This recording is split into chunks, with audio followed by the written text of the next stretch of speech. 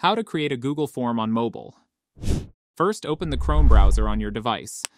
Now, in the search bar, type forms.google.com and press search. Here, once the page loads, you'll see an empty form. Tap on Untitled Form and give your form a name. Next, add a description to provide context about the form.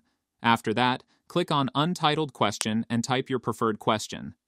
Next, enter the answer choices. Add as many options as needed for the question. Then at the bottom of the question, turn on the toggle next to required to make the question mandatory. Now, to add more questions, tap on the plus icon at the bottom and repeat the above steps for each question. Once you are done, tap on the arrow icon at the top. Now tap on Publish in the pop-up menu. After that, tap on the link icon to generate and copy the form's link. Next, open any social media app to share the link. For example, in WhatsApp, tap on the desired contact or group, paste the link, and hit the send icon. That's it.